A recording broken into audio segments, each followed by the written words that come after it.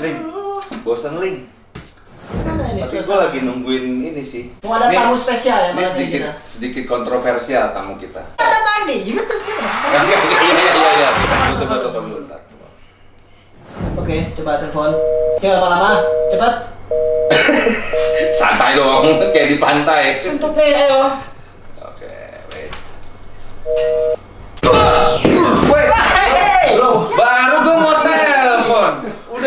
dateng ya. Dari langit gue Ini siapa sebenarnya?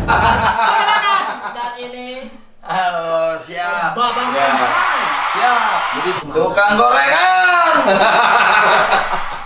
Kamu di mana? Iya. Iya, iya. Eh, Andika, Siap. lu kenapa bisa dipanggil bebang tanpa narkoba?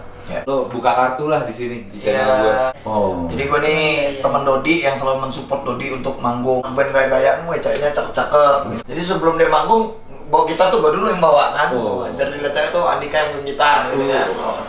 Dan Dodi pun belum pernah ngeliat gue nyanyi gitu loh. Ya gue nyanyi dari pertama sampai bait akhir gue tuh ada belakang gini om. nah nyanyi. Main biliar ditangkep lah gue. Raja UTS namanya. Ditangkep masuk ke penjara. Begitu gue masuk penjara ternyata lagu gue ini udah ke mana-mana om. Udah viral. Udah viral ada yang baca gua nggak tahu lah dari mana itu kan. Dari apa? Gila, gua denger lagu lu di mana-mana diangkut-angkut. Besok tuh cuma mau ngomongin itu. Lagu lu di mana-mana di gua di Bali aja tahu ini ini yang terjadi. Gua sebenarnya kasusnya ngambil tali. Tali, gua tarik tarik ada kepotnya om. Dateng loh sebuah seorang produser yang pernah gua lihat di TV namanya Ari Tasman almarhum sekarang dari penjara Lampung ke Jakarta. Bahwasannya bebas langsung suruh rekaman pada saat itu. Tiba-tiba gua nyampe Jakarta bebas langsung rekaman dan waktu sehari itu 6 lagu gua. Men- Kamu belum naik. yang tuh, yang ini mulailah woi aura artis jadi artis kita. Orang kampung nelpon semua katanya kan dikasih handphone kita kasih kali kasih kita Wah, seling dua bulan tuh duit kita orang udah banyak lah. Udah ratusan lah gitu kan. Dua bulan seling tiga bulan. Terus tuh duit tuh datang terus. Bulan adalah band refer dulu. Refer. gitu orang iya pada saat kita orang lagi ini itu bikin down gitu orang. Ada lah lagu asa de kon kon sama kangen band ngen ngen ngen gitu. Oh. nah itu drop pikir kita kita tuh mikirnya wah jangan di Jakarta lagi bro bro baru dapet duit kayak gini aja.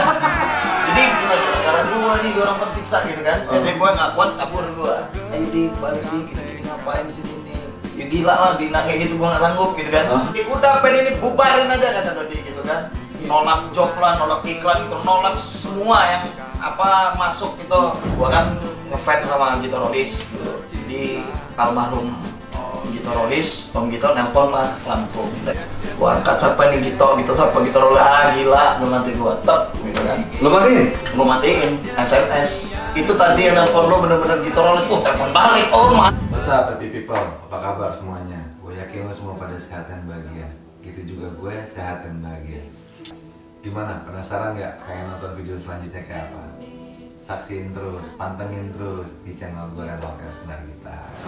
Dari diskusi ini Menyadarkan gue dan menginspirasikan gue kembali bahwa Kesuksesan itu nggak gampang kita raih.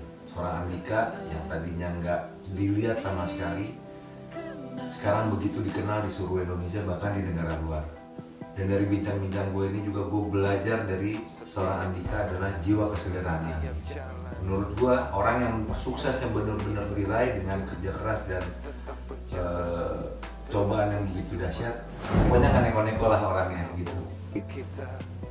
Seperti apa perjalanan seorang Andika ex kangen band meraih kesuksesannya? Penuh liku-liku, cobaan, berdarah-darah. Masuk bui eh, di penjara dihina bahkan sampai dibully. Sekarang dipuja kita sama-sama saksiin di video gue selanjutnya. Terima kasih banyak buat lo semua yang udah meluangin waktu untuk nonton video ini. Terima kasih banyak juga buat sahabat-sahabat gue semua kawan-kawan gue yang udah like dan subscribe di channel ini. Support lo sangat berarti guys. Suatu saat gue akan menyajikan audio dan visual dan konten-konten yang bisa membahagiakan kita semuanya.